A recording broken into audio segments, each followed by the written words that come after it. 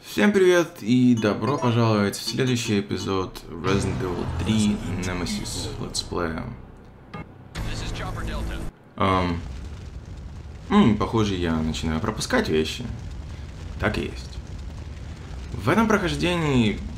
ну, Собственно, это прохождение будет достаточно быстрым.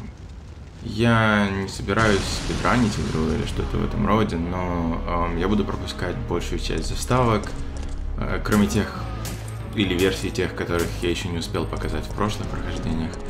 А, ну и, конечно, тех, которые нельзя пропустить вроде, вроде этой. И я буду пропускать абсолютно все открывания дверей, что можно делать в ПК-версии, как я уже показывал. Я также буду использовать все бонусное оружие и бесконечные патроны, которые я а, открыл в Mercenaries в прошлый раз. September 28th. в принципе, это как бы как игра играется после того, как вы открыли абсолютно все, и она вместо страшного survival horror превращается в милый расслабляющий экшен о том, как вы убиваете зомби. Что на самом деле достаточно весело тоже по-своему. Ну и плюс к этому э, в каком-то роде гиммиком этого прохождения будет то, что я буду проваливать абсолютно все life selection, все э, варианты выбора. Скорее всего, даже те, кто играл в игру, никогда не знали, не проверяли, что происходит, если проверить э, все эти life selection штуки, поэтому вам будет, наверное, интересно посмотреть. Что до комментариев, э, я упомяну несколько вещей, которые будут происходить на экране, и те, которые относятся именно к прохождению. Но по факту я буду скорее говорить о том, как игра разрабатывалась и об истории игры, которую не всегда можно узнать из самой игры. А, в любом случае, к сожалению, абсолютно все анлоки, которые а, можно получить в игре, включая бесконечные патроны для всего, а, нельзя выключать в Resident Evil 3. То есть, если вы их открыли, на том же сохранении их убрать нельзя. А на ПК это означает то, что их отключить нельзя вообще, по крайней мере, удобным официальным образом. А, Что можно сделать, это изменить или удалить а, строчку в конфиг файле в папке с игрой. А, Но с этим есть небольшая опасность, поскольку если менять определенную строку, которая влияет на эпилоги игры, то в итоге вы можете случайно испортить себе возможность получения специальной секретной надписи, которую получает игрок после того, как получит все эпилоги. Я это знаю, потому что у меня так и произошло, и в следующем эпизоде мне пришлось немного, точнее, для следующего эпизода мне пришлось немного хитрить для того, чтобы получить эту секретную надпись. Как вы, наверное, уже заметили, я бегаю со здоровенным пулеметом в руках. А, Это очень медленное оружие, им нельзя целиться вверх или вниз, но обычно, собственно, это нафиг и не нужно. Я покажу более четкую разницу между этим гатлингом и э, винтовкой в отдельном, в следующем видео. А, но если вкратце, миниган намного более мощный и э, попадает сразу в большем количестве противников. Поэтому в большинстве случаев это более быстрый вариант для использования. А, Я также бегаю с ракетницей, а, но фактически она у меня исключительно для боссов. В принципе, я мог бы ее отложить, а, но я, в принципе, хотел бы показать, что с таким раскладом пользоваться а, коробками для предметов в принципе не нужно. Ам, Я все равно буду это делать, потому что я пытаюсь показать некоторые вещи, которых вы раньше не видели. Но, в принципе, использовать коробки с бесконечными патронами и со всеми этими анлоками банально не нужно. Ам, Ракетницы, конечно, можно использовать и против обычных противников, но в большинстве случаев это достаточно бесполезная штука. Это слишком медленно, э, нельзя тоже целиться вверх или вниз, и у выстрелов из ракетницы очень длинные анимации, которые, в принципе, мешают, особенно против более быстрых противников. Поэтому лучше всего их использовать именно против Немесиса или здоровенного червя. Я также буду использовать автомат, а, потому что все-таки он быстрее в использовании и безопаснее для некоторых быстрых противников. К примеру, использовать э, что-то вроде Гатлинга против хантеров фактически суицидально, особенно если они рядом с вами. Хоть и винтовки на самом деле это более слабые выстрелы. Конечно, у меня бесконечный патрон для абсолютно всего оружия, поэтому я мог вместо этого использовать просто гранатомет с э, замораживающими патронами или что-то в таком роде, или тот же магнум. Но, блин, я показываю все-таки все анлоки, поэтому почему бы и нет. В любом случае, вот и первый Life Selection. И в случае с ним, если ничего не выбрать, как можно заметить, э, мы просто оказываемся в очень опасной ситуации, потому что Nemesis э, попадает по нам кулаком сразу же после того, как Life Selection заканчивается. Но, что интересно, это то, что даже если бы у меня э, было ноль здоровья, и с ноль здоровья, как я, по-моему, один раз уже упоминал, на самом деле можно выжить, потому что персонаж умирает только если у него минусовое здоровье. Э, этот удар бы меня не убил. Я понятия не имею, это особенность именно этого случая, именно этого Life Selection, потому что я знаю, что Nemesis может убить э, Джилл кулаком. У меня даже пример этого есть в видео с Nemesis. В любом случае, идея в том, что провалы Life Selection, в отличие от QTE в более поздних играх, э, никогда не убивают. Они могут нанести урон, но никогда не убивают. В любом случае, поскольку мы закончили с э, базовыми вещами насчет этого прохождения, и мы как раз сейчас будем подходить к неправильной двери в полицейском участке, которая, к слову, абсолютно правильно в PlayStation версии. Я не помню, упоминал я это или нет перед этим. А, но смысл в том, что она на самом деле нормальная. Это просто в ПК-версии, она почему-то неправильная. Я хочу рассказать немного о разработке игры. Главным источником для того, чтобы узнать о разработке Resident Evil 3, для меня был фан-сайт Project Umbrella.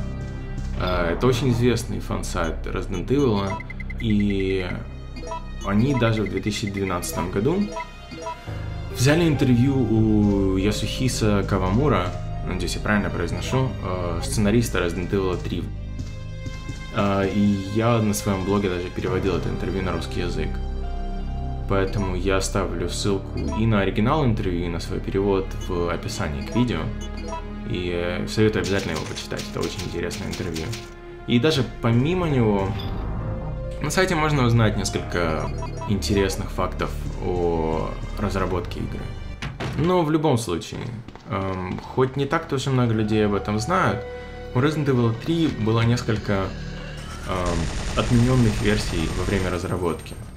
Это не настолько известно, как ситуация с Resident Evil 2, с тем проектом, который обычно называют Resident Evil 1.5, или же тоже известных версий у Resident Evil 4, э, как версия с э, Человеком с крюком, или также, по-моему, известная как туманная версия, версия с каким-то замком непонятным. А, и да, я хотел, собственно, здесь показать то, что Магнум все-таки можно получить вместо гранатомета, хоть у этого есть более маленький шанс.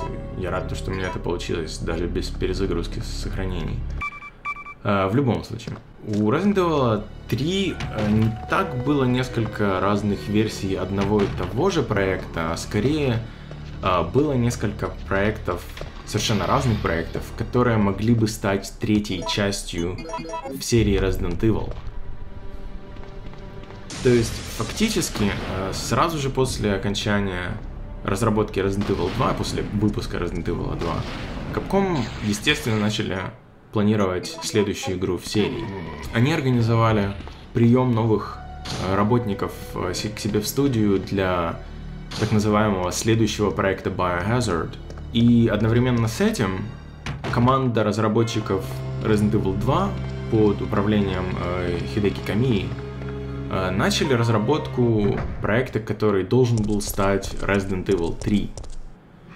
Если вы были фанатом Resident Evil в конце 90-х или в начале 2000-х, скорее всего вы слышали о потенциальном Resident Evil, в котором Ханк э, будет главным героем. Об этом было очень много слухов везде в интернете. Скорее всего, все эти слухи шли именно из этого проекта. Потому что в этом проекте, как оказывается, эм, Ханк должен был стать главным героем, и все события игры должны были происходить на э, круизном лайнере где-то посреди океана. И задачей Ханка на этом лайнере должно было быть э, достать сэмпл э, G-вируса. Что, к слову, наверное, бы делало For Survivor мини-игру с Ханком из Resident Evil 2 не каноничной, потому что в ней он достает сэмпл G-вируса. Но в любом случае, поскольку тот проект так и не вышел, скорее всего, For Survivor до сих пор является каноничной историей. В то же время, получив несколько новых работников на этом Next Project, э, собралась новая команда, которой лидером был э, Казухира Аяма, который был дизайнером э, уровней и событий в первых двух Resident Evil. И они, эта новая команда, начала работать над своим э, маленьким Resident Evil, который должен был быть не основной частью Resident Evil, а просто маленьким спин. Э, этот проект даже специально назывался Gaiden, то есть отдельная история. Проект по задумке должен был быть достаточно маленьким и дешевым. Скорее всего, хоть мы теперь этого уже не узнаем, он, наверное, был бы по качеству ближе к более позднему, позже выпущенному Resident Evil Survivor на PlayStation 1. И в этой игре должны бы, э, должно было рассказываться о э, нескольких выживших э, из Raccoon City, которые пытаются сбежать из города, из всех событий, о которых мы и так уже знали в Resident Evil 2. А, и в отличие от основных э, игр серии, для которых история обычно писалась э, компанией Flagship, которые были главными партнерами Capcom в то время, Ясухира Кавамура был сценаристом для этого проекта Gaiden. То есть, в итоге мы имеем четыре совершенно разных проекта Resident Evil Biohazard э, в разработке одновременно, и у каждого был потенциал стать третьей официальной частью в серии. Проект Hideki Kamiya должен был стать настоящим Resident Evil 3 э, и разрабатывался для PlayStation 1. Resident Evil Zero уже был в разработке для Nintendo 64. Проект Code Veronica скорее всего, был для Dreamcast уже запланирован и разрабатывался в совершенно другом отделении Capcom. И также мы имеем этот маленький невзрачный проект Gaiden. Потом однажды все поменялось. Внезапно стала доступна очень точная информация про PlayStation 2 и когда она выходит. И в Capcom все соображают то, что проект, который разрабатывает Хидеки Камия для PlayStation 1, выйдет, сможет точнее быть выпущен только когда PlayStation 2 уже будет на рынке. И поскольку проект Хидеки Камии должен был стать следующим огромным суперхитом от Capcom, нельзя было выпускать его на платформе, которая уже считается устаревшей. Им нужен был какой-то новый проект, который займет позицию главного. Uh, Resident Evil 0, Resident Evil Zero был тогда в очень нехорошей ситуации, так сказать. Собственно, как мы знаем теперь, они в итоге uh, поменяли платформу с Nintendo 64 и выпустили игру только на GameCube и только в 2002 году. Uh, Code Veronica тоже тогда был еще далек от окончания разработки и тоже, как мы теперь знаем, выйдет только уже в эру PlayStation 2. Capcom нуждались в проекте, который выйдет на PlayStation 1, который будет качеством с настоящего супер крутого Resident Evil, э, но при этом не будет релизом типа Director's Cut или DualShock, как вышло с Resident Evil 1 и Resident Evil 2, Просто потому, что они боялись, что это может разозлить фанатов и испортить отношения с фанами серии, которым уже два раза пришлось переигрывать в старые игры вместо того, чтобы получить какую-то новую. И тогда было решено, что этот маленький проект Гайден превратится в следующую основную серию, э, основную часть серии. Тогда проект еще не назывался Resident Evil 3. Похоже, он неофициально внутри студии назывался Resident Evil 1.9, э, потому что даже тогда задумывалось то, что первая часть игры э, будет происходить до событий Resident Evil 2. Этому проекту выделили достаточно хороший бюджет, намного больше, чем он был до этого. Действительно большую команду, и им дали четкую э, цель выпустить проект как самый последний большой Resident Evil на PlayStation 1. В это же время проект Камии был полностью завершен, э, и им дали новое задание — исследовать железо PlayStation 2 и разработать Biohazard 4. Как мы знаем сегодня, тот проект, который тогда был начат и который неофициально назывался как стильный Biohazard, в итоге выйдет как совершенно другая игра под названием Devil May Cry и станет первой э, частью новой успешной серии для Capcom. Но и для Gaiden должны были произойти какие-то изменения, чтобы он стал основной частью серии. Поэтому вместо того, чтобы иметь э, каких-то неизвестных новых персонажей в главных ролях, было решено, что кто-то из основных персонажей серии станет главным героем. Поскольку абсолютно все другие главные персонажи были заняты в других проектах, э, было решено, что именно Джилл станет главным героем Resident Evil, нового Resident Evil. Также тогда было принято решение, что Raccoon City должно быть уничтожено в конце игры, что в каком-то роде станет э, символом окончания целой эры PlayStation 1 для серии. Что особенно интересно, что даже хотя проект теперь был намного больше, сценарий все равно продолжал писаться Кавамура-саном. Э, хоть у него были достаточно странные идеи изначально для этого, включая целую идею с пересечением с Леоном и Клэр из событий Resident Evil 2. Все это в итоге вырезали просто для того, чтобы история и этой игры, и тех проектов, которые были уже в разработке, была более-менее цельной. И хотя флагшип все-таки имели некоторое влияние на разработку Resident Evil 3, похоже, что фактически ничего из того, что они тогда делали, попало в э, финальную часть игры, и в принципе вся история осталась историей Кавамура Сана. И это очень странно для серии, просто потому что до самых-самых новейших Resident Evil абсолютно все, новые, э, все главные Resident Evil э, были со сценарием, написанным флагшип.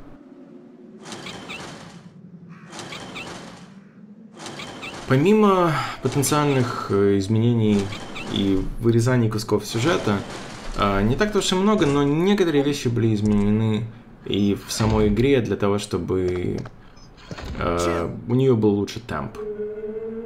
Например, достаточно хорошо известно, что несколько загадок или кусков загадок были вырезаны из первой части игры.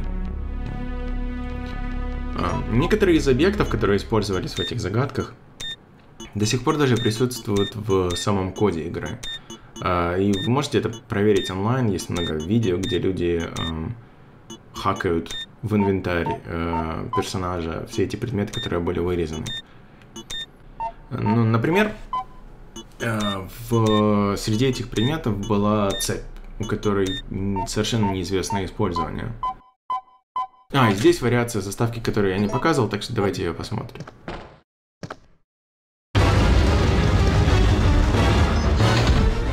Carlos! No!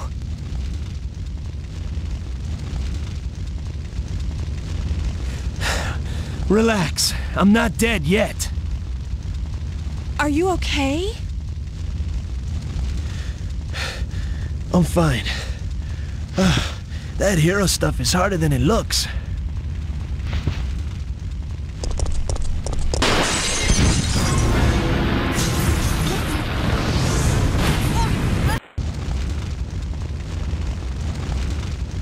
Ouch, my ears are ringing. We both should be deaf by now. Okay, I'm gonna scrounge up some equipment. There might not be any at our destination.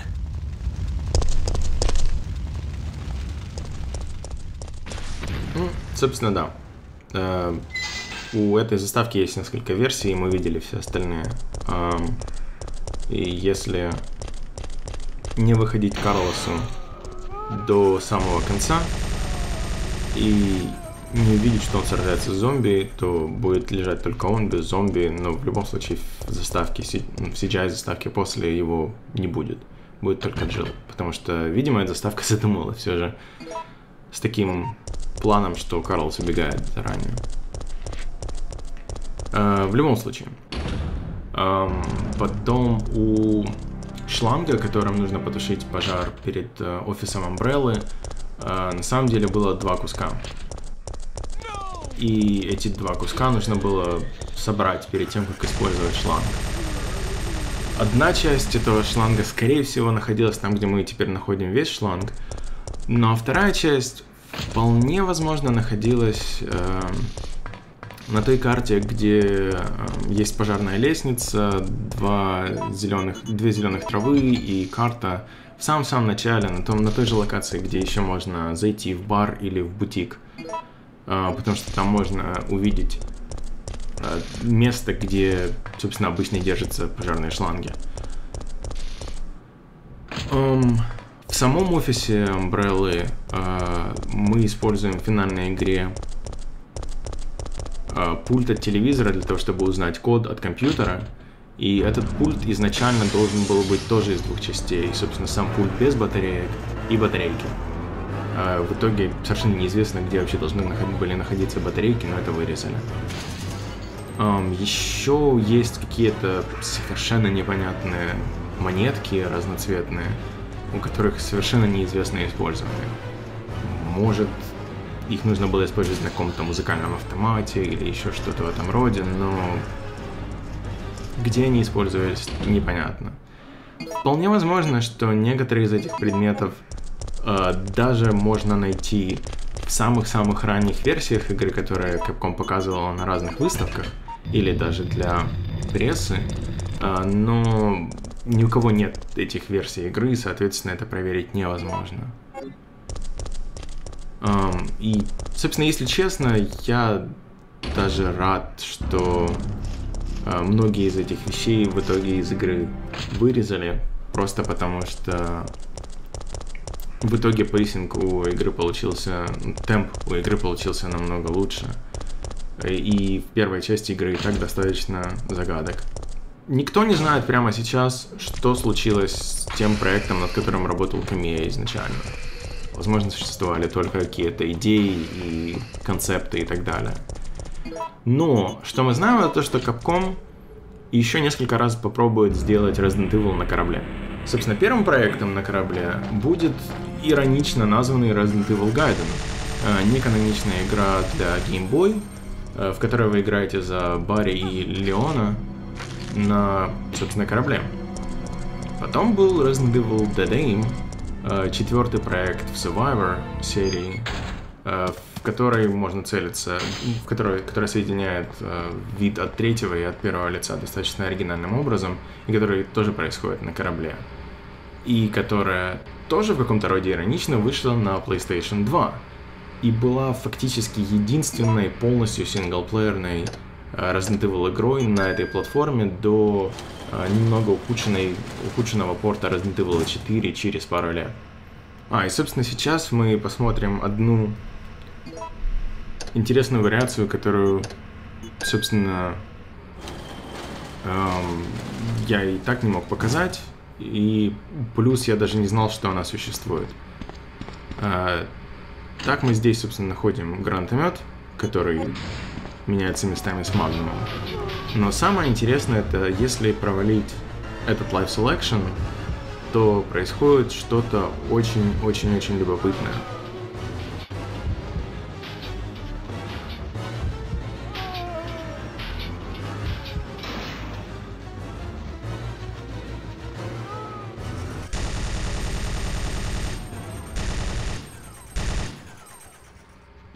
Помимо того, что все зомби просто врубаются внутрь, и, собственно, некоторые зомби остаются снаружи, и мы даже можем на них прицелиться, что интересно. Um, хоть стрелять через забор нельзя, к сожалению. Но видно то, что они целятся на Джилл. Это очень странная какая-то штука, и зомби находится здесь. Но не в этом сюрприз. Сюрприз здесь.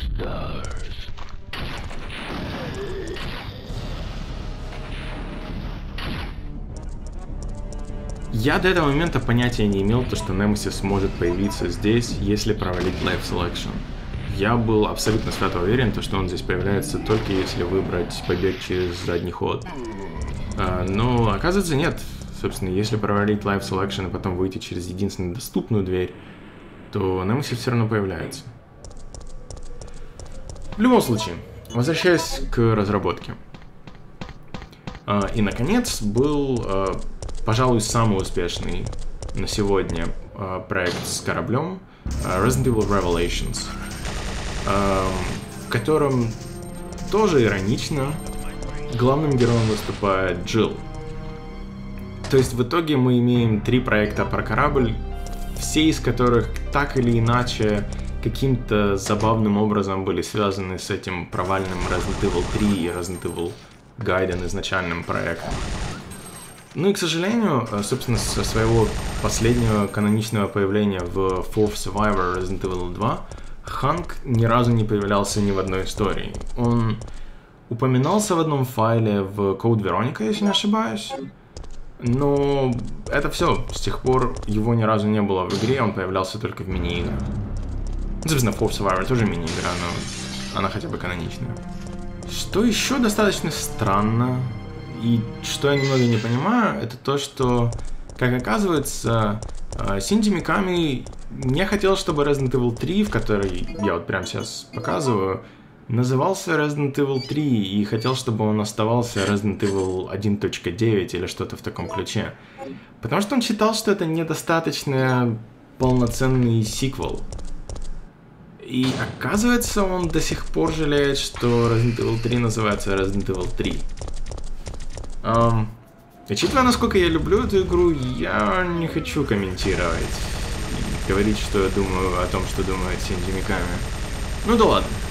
Возвращаясь э, теперь к истории Resident Evil 3. Как оказывается, Resident Evil 3 история задумывалась как достаточно оригинальное расширение той истории, которая была в Resident Evil 2 с некоторыми изменениями канони каноничных вещей, которые были известны до этого. А, как, собственно, появля... получается с фактически всеми Resident Evil играми. Почти все они меняют некоторые куски истории, которая показывается или на которую намекается в предыдущих частях, просто для того, чтобы следующая новая игра была как-то лучше и интереснее. Uh, собственно, например, uh, даже в ситуации с Resident Evil 3 Э, на момент ее разработки идея с Progenitor Virus, самым первичным вирусом, только, в принципе, набирала обороты, uh, потому что до этого вся эта концепция называлась как Clay Virus, uh, то есть как глиняный, глиняный вирус, из которого вылепили все остальные вирусы, включая T-вирус. Тогда как к этому времени, поскольку в этот момент разрабатывалась и Code Veronica, и Zero, и складывалась полная картина о том, как появился T-вирус, а, была придумана та идея, которую полноценно мы узнаем уже только в Resident Evil 5. Поэтому для Resident Evil 3 Кавамура-сан решил сделать интересное расширение мифологии серии и сказать то, что внутри самой корпорации Umbrella на самом деле существовали определенные э, соревнования между отделами. После таинственного исчезновения Алексии и тоже достаточно таинственной смерти доктора Маркуса, Биркин закончил разработку T-вируса, основываясь на начатой разработке Маркуса с э, пиявками. В результате этого э, чикагское отделение Umbrella, которое возглавлял Биркин, э, стало самым влиятельным внутри компании. T-вирус считался как самым важным элементом будущего разработки Umbrella и главным элементом успеха компании для будущего. Поэтому на чикагское отделение было направлено огромное количество и внимания, и в то же время заданий, и, соответственно, чикагское отделение было под постоянным большим напряжением. Успех Биркина с T-вирусом и успех э, Чикаго отделения э, создал достаточно большое количество зависти у некоторых других отделений, э, включая европейское отделение Umbrella, э, которые мгновенно решили сделать как можно больше улучшений T-вируса э, для того, чтобы показать, что они тоже очень крутые.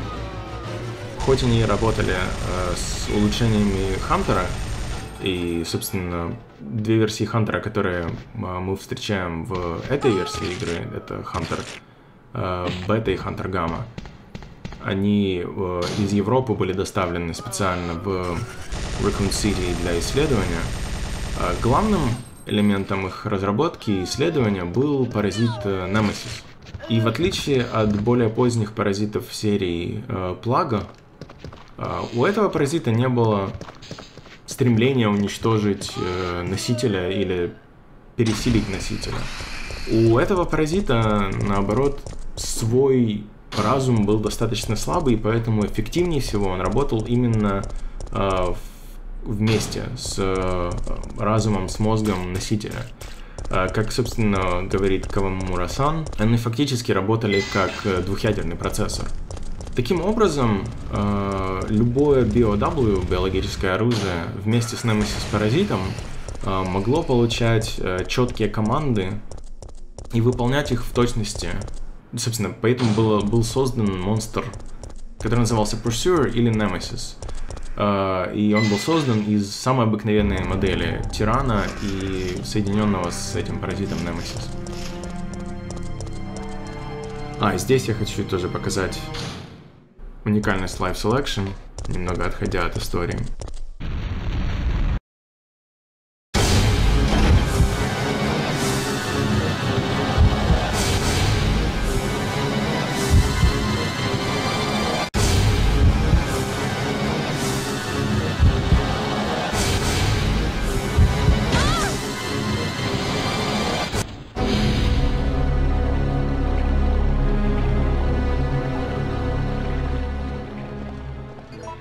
Можно заметить, ничего не выбрав, я явно получил урон.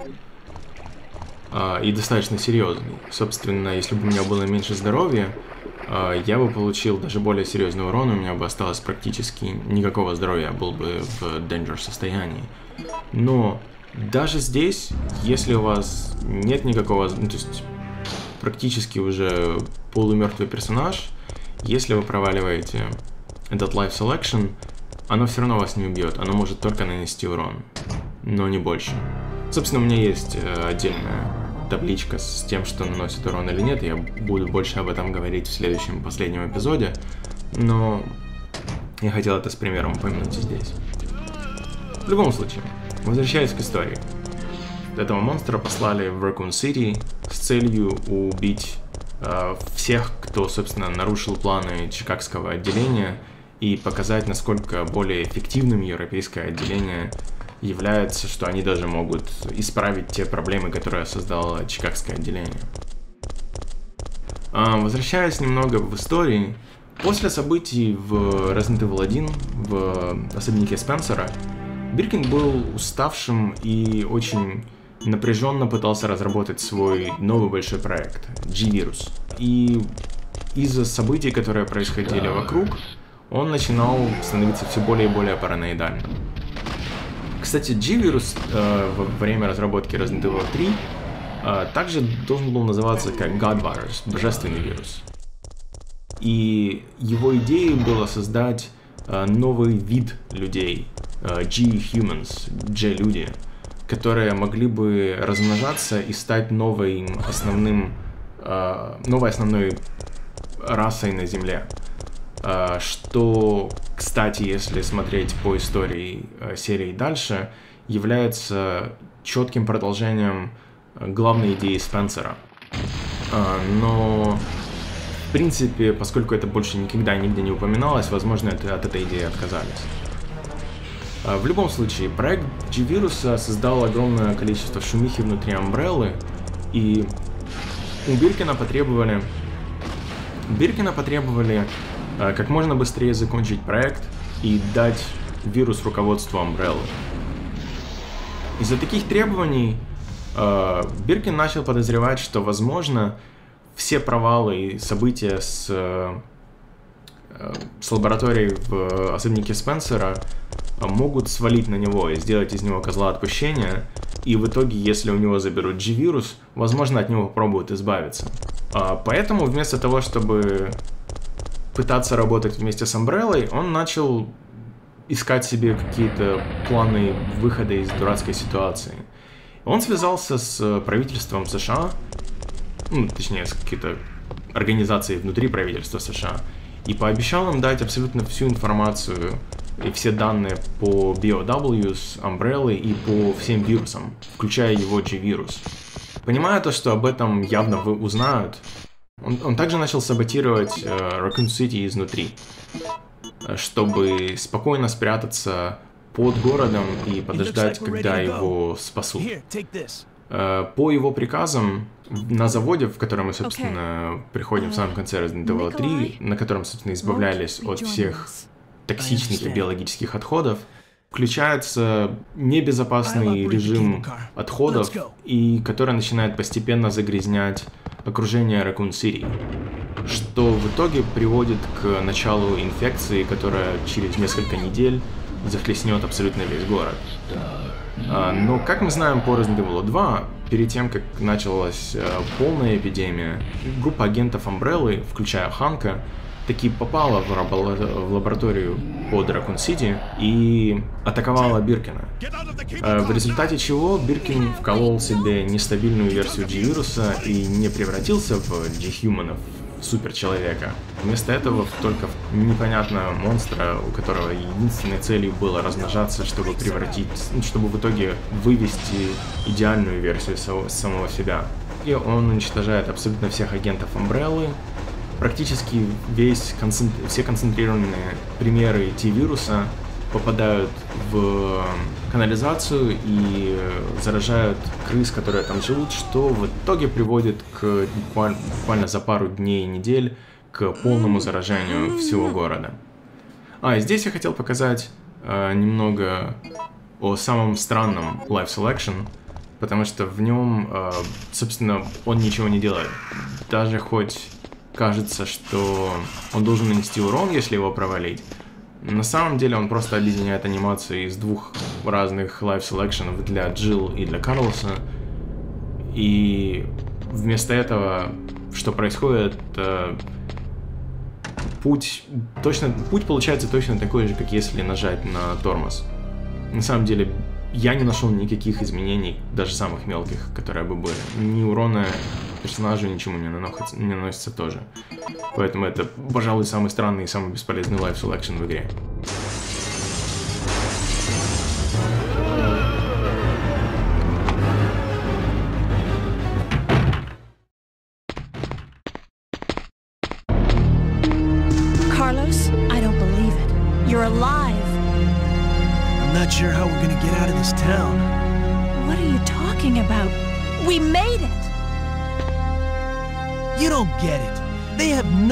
Intention of letting us make it back alive.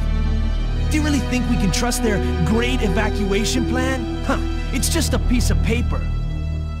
But we don't have any other choice than to trust them right now. No. If we're gonna die, then we should get to choose when it happens. Uh. So that's it then, huh? You're giving up? No. I just... can't handle it. Um, в результате всего этого хаоса происходит несколько вещей.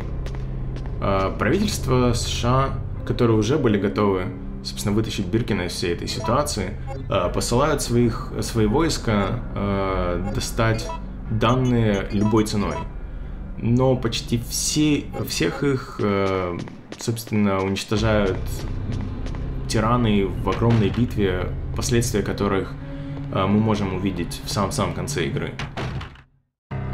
Официально также военных посылают, чтобы ограничить последствия эпидемии, но после нескольких дней попыток становится очевидно то, что город потерян, его спасти уже невозможно, и э, военным дает четкое задание просто э, отступать. И, собственно, в итоге это является причиной, почему э, Леон и Клэр попадают в город, потому что э, все баррикады вокруг достаточно и так пустынного Raccoon City были очищены, и Леон и Клэр так сказать, не повезло. Собственно, повезло сказать нельзя. А, проскочить как раз в тот период, когда вокруг Ракун-Сити не было ничего, не было ни военных, ни ничего такого, чтобы выдавало ситуацию в городе. Umbrella, в ту же очередь, посылает э, свое войско UBCS. Э, официально для того, чтобы очистить последствия эпидемии и спасти выживших, но на самом деле их главной целью было э, получить данные о, от BOWC вообще от вируса и получить э, сэмпл G-вируса, поскольку тогда еще Umbrella не знали, что у Ханка удалось получить э, сэмпл G-вируса.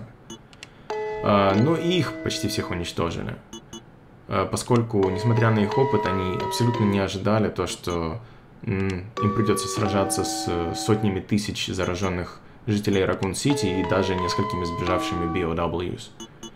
Ну и, наконец, Umbrella также посылает нескольких тиранов, в то время как и европейское отделение также посылает тоже по воздуху э, Немесиса в город. И в итоге то есть, происходят события Resident Evil 3 и 2. Некоторые из того, что я только что описал, вполне возможно сейчас является неканоничным.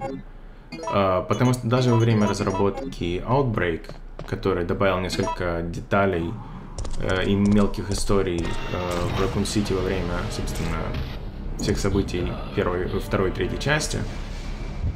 И объяснил некоторые политические вещи, которые происходили в, внутри Umbrella. Некоторые вещи могли поменяться. Поэтому, возможно, некоторые вещи, которые Кавамура-сан э, рассказывал, которые он написал для Resident Evil 3, прямо сейчас уже немного другие. Но в любом случае достаточно интересно узнать, сколько у игры было историй написано, которую, которую в игре э, можно узнать только по намекам, по тому, что видно на локациях и по некоторым файлам. В любом случае, на этом я буду заканчивать свой комментарий для этого видео. Надеюсь, вам было интересно послушать и узнать о вещах, которых вы не знали. Если вы знали, то надеюсь, вам просто не было скучно. Я надеюсь, вы действительно пойдете и почитаете это интервью. А, ссылка есть в описании к видео, и перевод мой тоже. И обязательно посмотрите больше на Project Umbrella. Там действительно пишут очень-очень интересные вещи об истории э, различных частей, о разработках и других вещах, которые обычно, в принципе, не сильно известны и собираются из кучи разных материалов, включая многие из которых были изначально на японском. В этом видео будет еще несколько вещей, которые не показывались в других прохождениях, и на них будет ссылка в описании видео тоже. И в самом-самом конце видео э, в этот раз мы будем смотреть э, финальные титры из PlayStation версии, а не из ПК версии или ПК переиздания версии, э, которые PlayStation, собственно, если вкратце, то PlayStation версии титры намного лучше, потому что там музыка полностью нормально синхронизирована с длиной титров. В отличие от ПК релизов и перерелиза, где титры намного длиннее. В любом случае, следующий эпизод будет самым-самым последним из основных, э, и в нем я постараюсь показать кучу-кучу интересных и странных вещей, которые я не мог показать раньше, и которые я думаю, даже те, которые очень любят игру, могли не замечать раньше. Куча вещей о том, что может убить в игре, что не может убить в игре, о разных каких-то странностях в игре. Эм, и, понятное дело, покажу все эпилоги и так далее. Так что до встречи в следующем эпизоде. Покеда.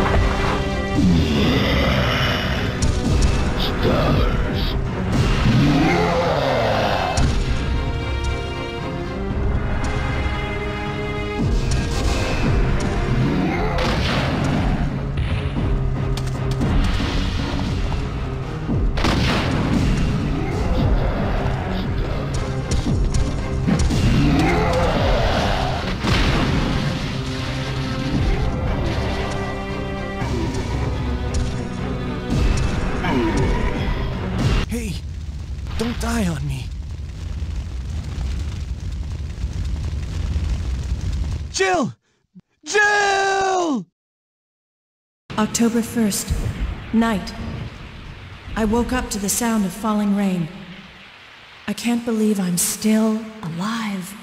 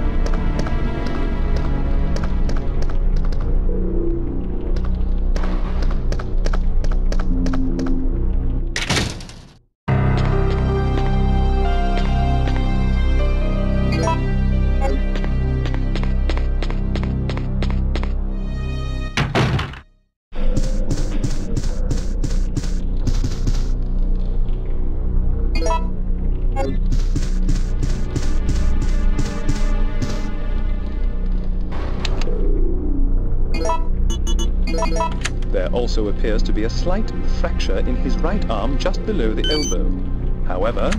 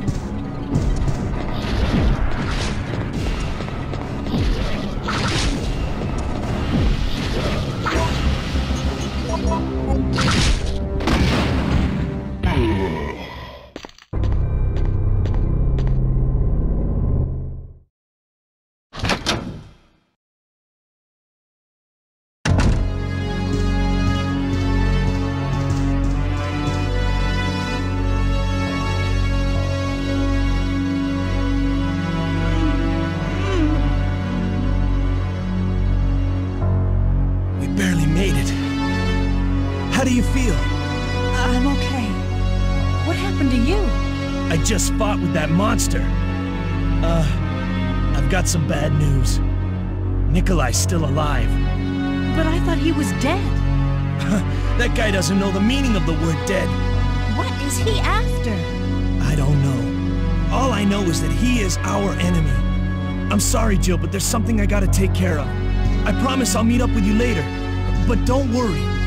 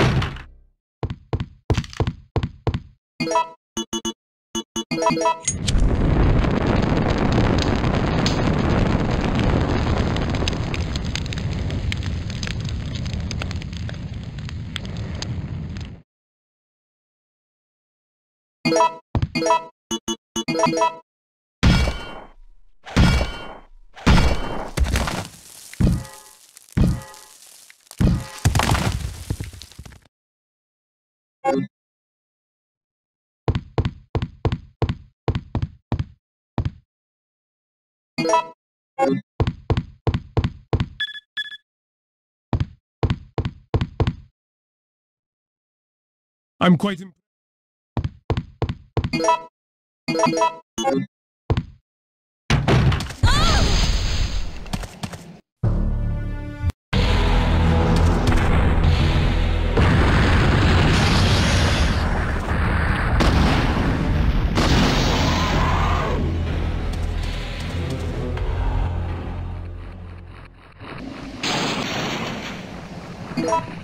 Thank ah! you.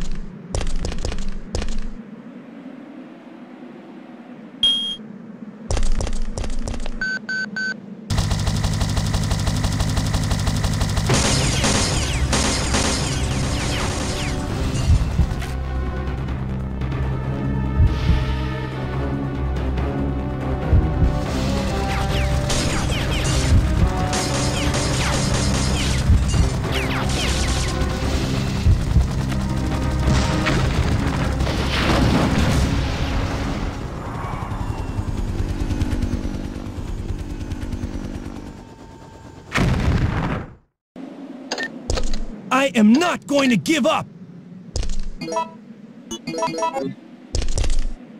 Jill! That's it. We've got to find a way out of here. Now!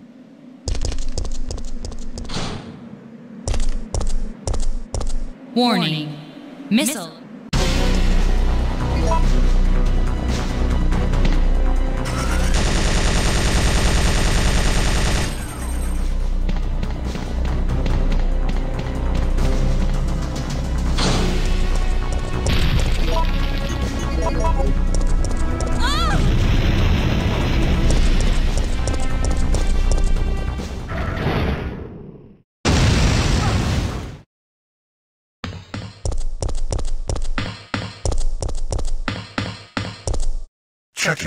System.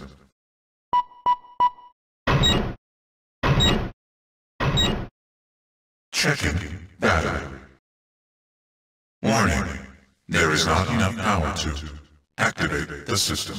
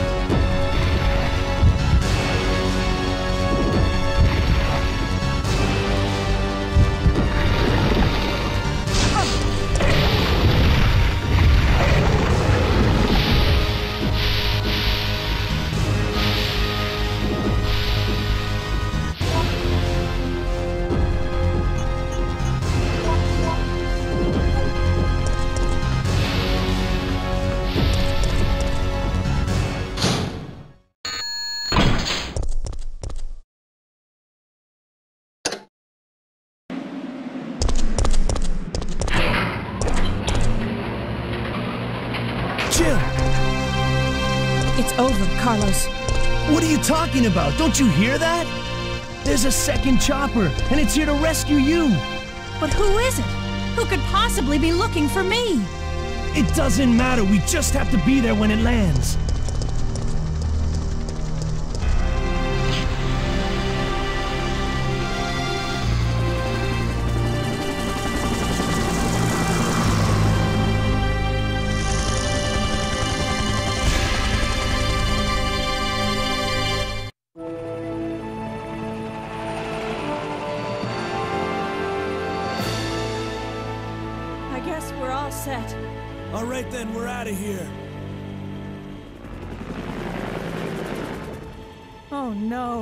It's here.